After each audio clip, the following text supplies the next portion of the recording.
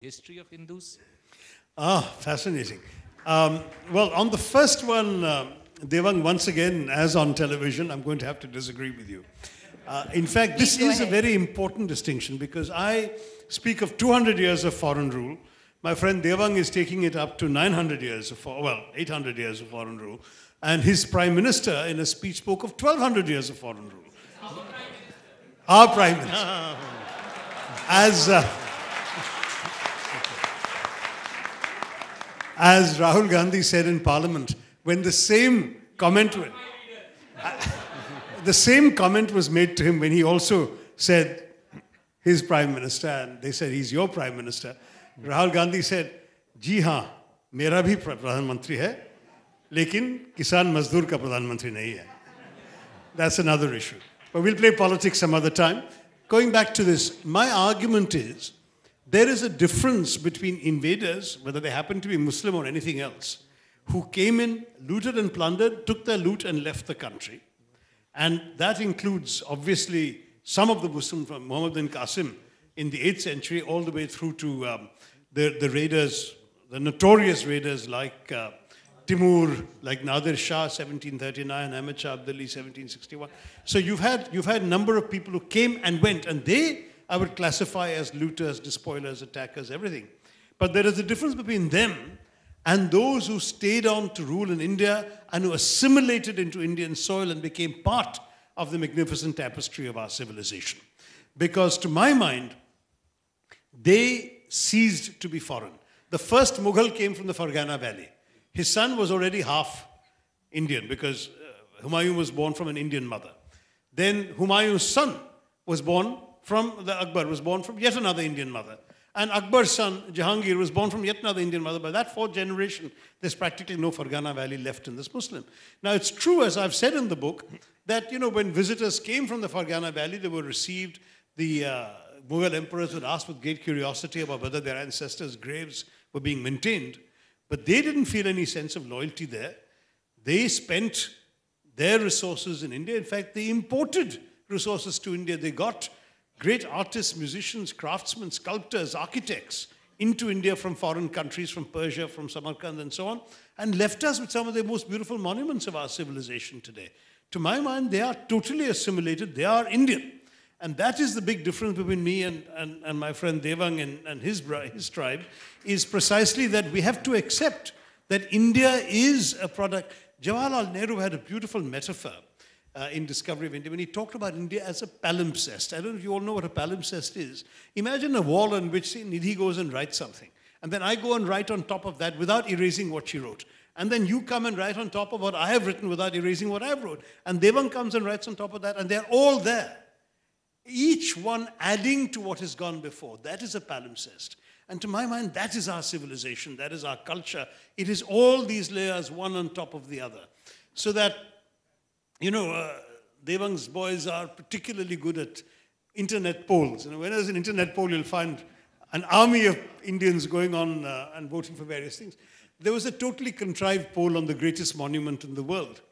So, inevitably, because Indians are very active on these internet polls, an Indian uh, majority managed to skew the poll completely effect. Who did all these, who did all these sort of BJP inclined, let me not say more than that, activists on the internet vote? Did they vote for the greatest, arguably one of the greatest temples of Hindu civilization, Angkor Wat, which happens to be in Cambodia? No, they voted for the Taj Mahal. So India would get the credit, right?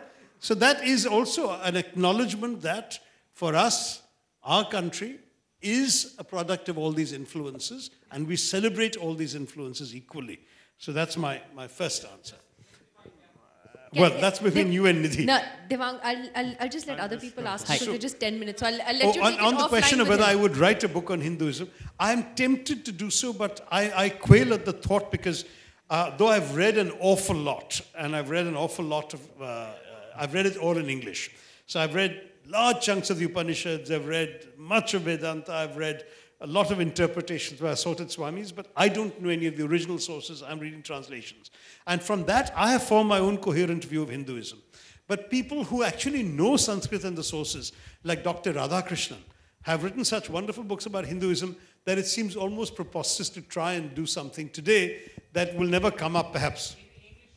Okay, this young gentleman. Radhakrishnan I will let you both take it Hindu way off, offline so that everyone gets a fair chance to ask a question. Yes, the gentleman there. Yes. Uh, good evening, sir. Uh, I have seven questions to ask. No, you can Oh. ask only one. Don't ask seven questions. I don't mind, but Nidhi has a flight to catch. No, no, no. I will summarize. No, summarize. seven them. is too much for one I will person. summarize them. Uh, you basically sh- uh, show the British Empire to us as an era of darkness. But there are even some positive sides that were done by the British in India. And Name some because you- I've tried to discuss Just- every just one of the so-called Uh, positives. you and me, both of us, know about the positive sides, the social benefits that India gained from the British rule. Give me an And, example. uh, yes, the abolition of Sati Pratha. That was uh, advocated by an Indian reformer, Raja Ram Mohan Roy. But but but uh, the British made a law. They made a law. That's because they were ruling. If Raja Ram Mohan Roy had lobbied some uh, Indian Nawab or, or Raja, the Raja might have made a law. In 1819, for example, in my, uh, the place that I represent in Parliament, Travancore, a Maharani there made this Indian state the very first place in the entire world to decree free and compulsory primary education for boys and girls. First time in the world. Not even America had done it, not even Britain had done it. India did it, 1819. In fact, two years from now is the, is the, is the double sort of centenary of that, and we should all be aware of it and celebrate it. I've written to the Prime Minister asking for a, a commemoration. Sorry, to the, I wrote to the Education Minister. Maybe I should write the Prime Minister. We should now be celebrating things we have done. So if we could give education to girls in 1819, we could have abolished sati also without the British doing it for us. But the British happened to be in power, so they had to pass the law. If somebody else was in power, somebody else would have passed the law. Indian reformers came. Uh, if you look at the Dalit cause, for example, uh, people point rightly to Ambedkar and people like uh, Mahatma Phule who became uh, advocates for Dalit justice under British rule.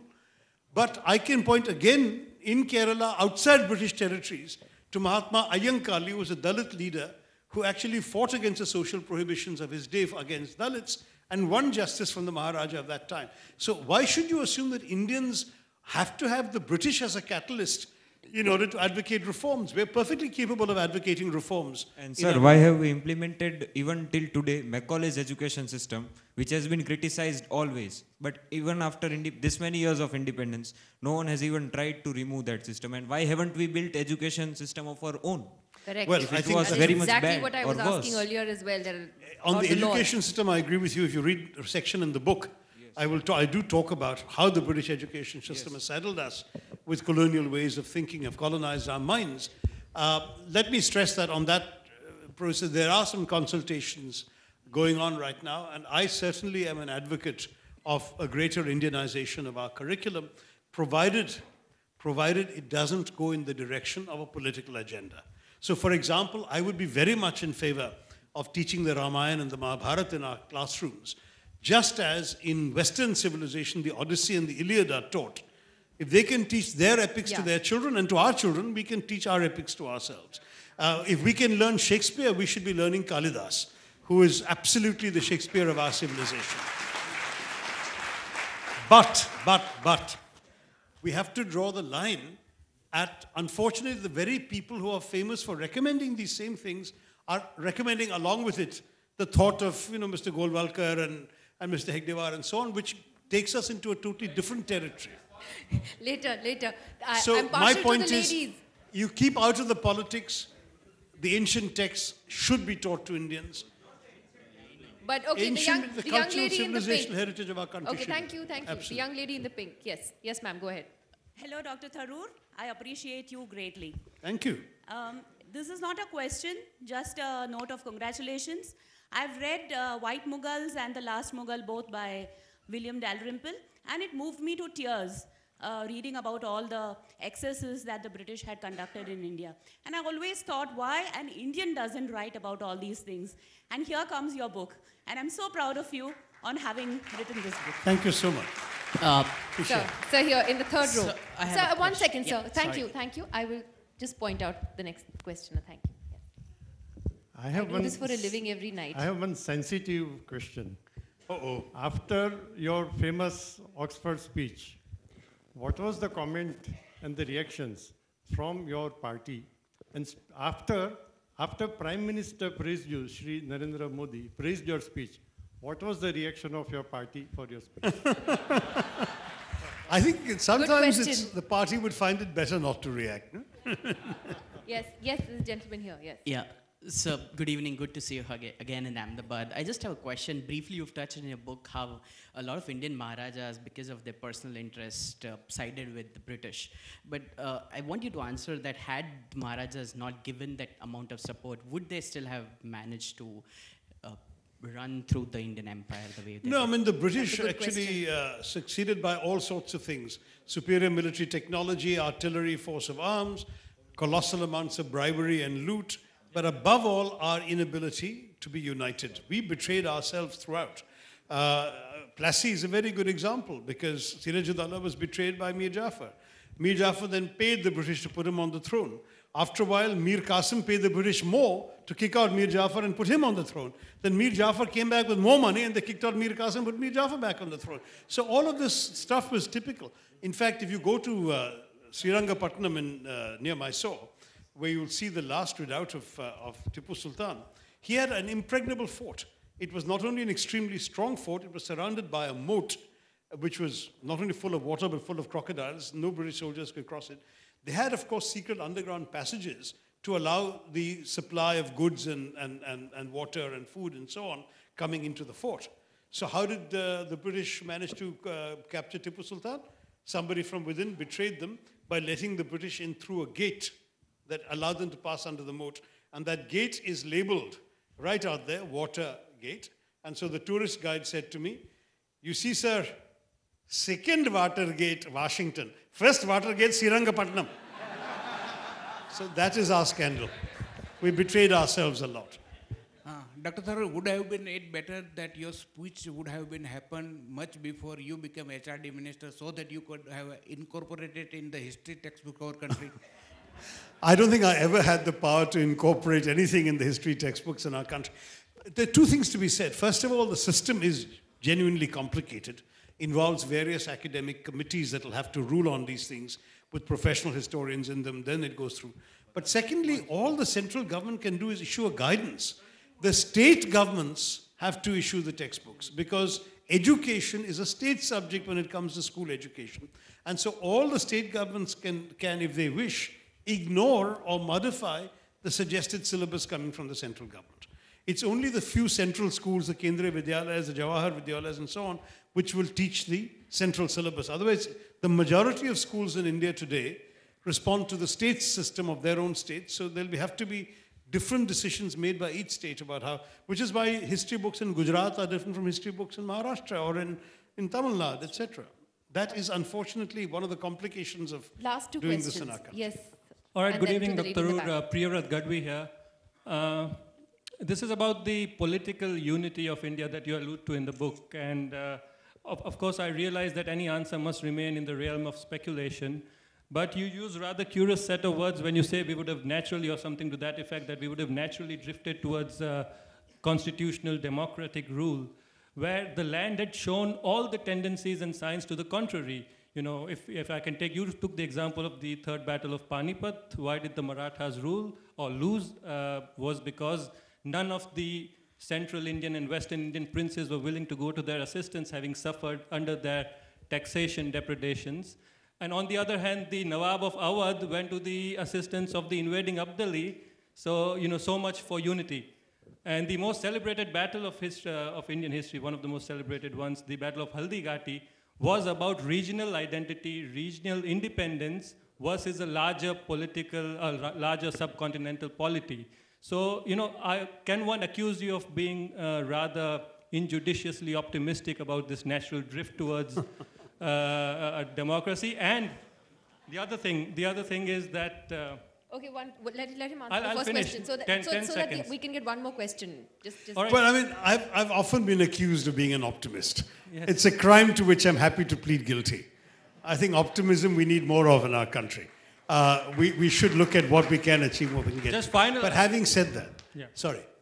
No, I was just saying, are you willing to give the British the credit for being a ruling elite capable of being ashamed by their own brutality, as you put it, Yeah. which so allowed so for the they didn't nationalist give us democracy. Yes. Our Indians prized democracy from their reluctant grasp. We took that democracy, which the British were unwilling to give us, and which the British repeatedly betrayed their own promises to give us at various stages. So, to that degree, you can't give the British credit for giving us something they were really quite determined not to give us. Until finally, their exhaustion at the end of the Second World War left us uh, with the British about to leave and obviously handing over to us the incipient system. But we wrote the constitution that for the first time gave every Indian the vote. Every Indian did not have the vote until 1951. Now, having said that, um, I did say to Nidhi that obviously, you know, her guess is as good as mine. Counterfactuals are by definition hypothetical. So it is hypothetical to say we would have become democratic. But I ask you to think of it this way. How many countries in the world today have remained immune to the appeals of democracy? And, uh, you know, basically China, even Russia has a form of democracy today, despite 70 odd years of authoritarian communist rule, simply because the currents of the times head in that direction. And as Amartya Sen has argued, India has been a famously argumentative country. We've had sabhas, we've had panchayats, we've had a number of forums in which people were able to discuss and express their views in various forms. It, it seems to me uh, not an implausible argument that those could have evolved in a democratic direction, given the currents of global history, which have been towards greater freedom of expression, greater political participation, greater democracy. Now, if you were to construct an equally plausible case, as you, you know, implicitly did, that no, we would have become more dictatorial and so No, on. no, I'm just playing the devil's advocate. I Yeah, completely so- identify with the book, though, as Yeah, a so. I, thi- I think I think you can certainly do so because hypotheticals being, you know, mine is what what if and yours is what if, and either what if let people choose which one they want.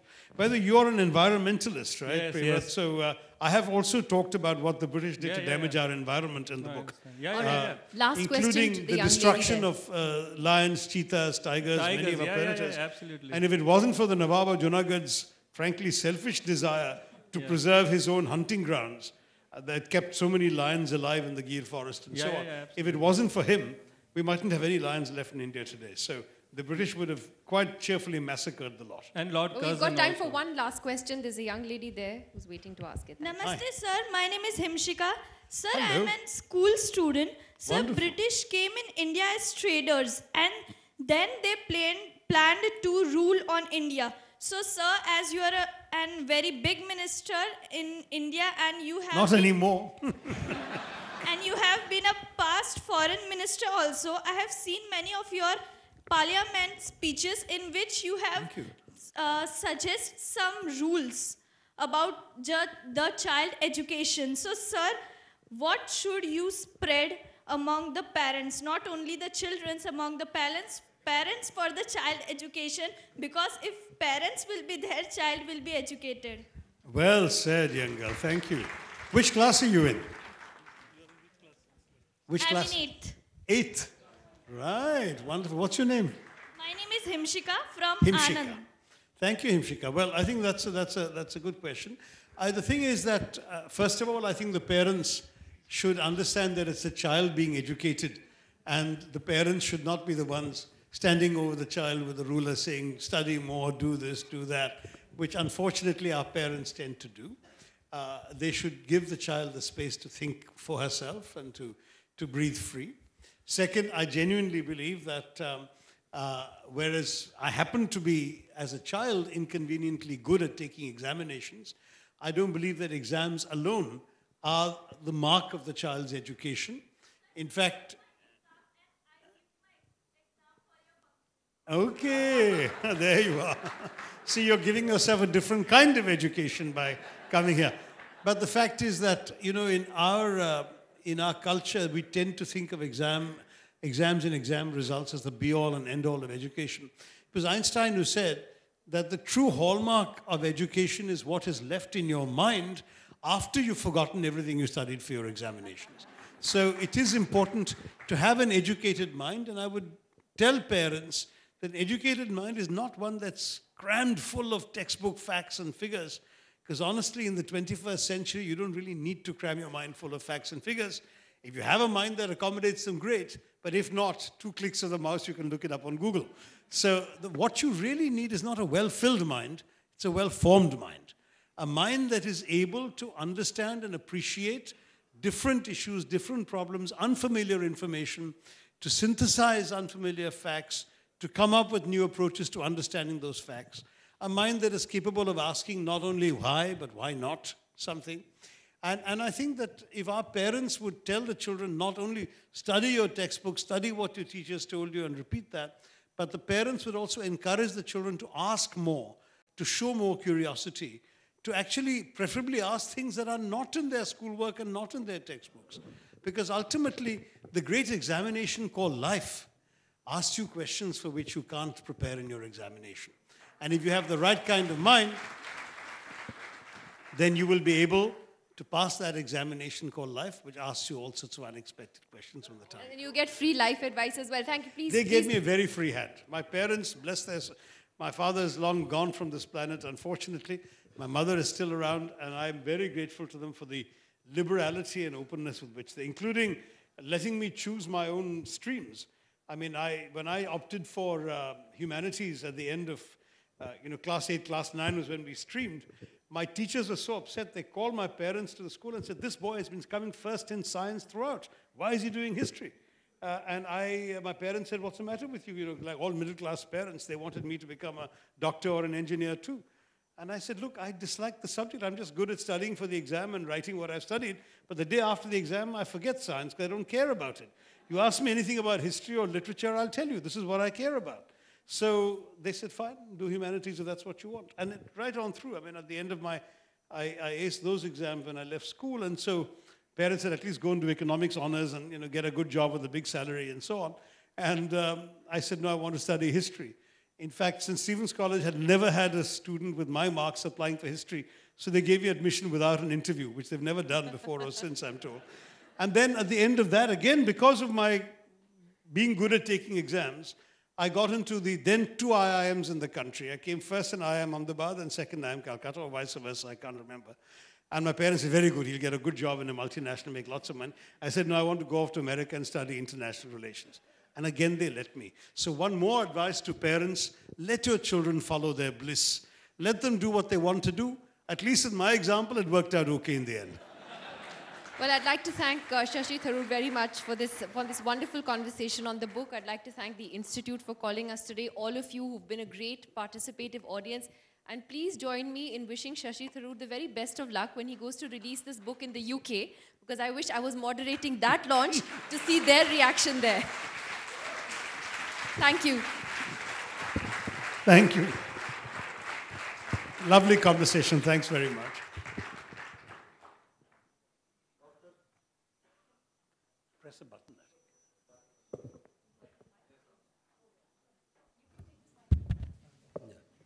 Yeah, Dr. Tharoor, uh, Nidhi Razdan, eminent guests, ladies and gentlemen.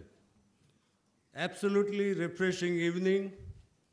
And I think Dr. Tharoor and Nidhi have, have taken us to a time travel of history in a very, very gripping and engrossing manner.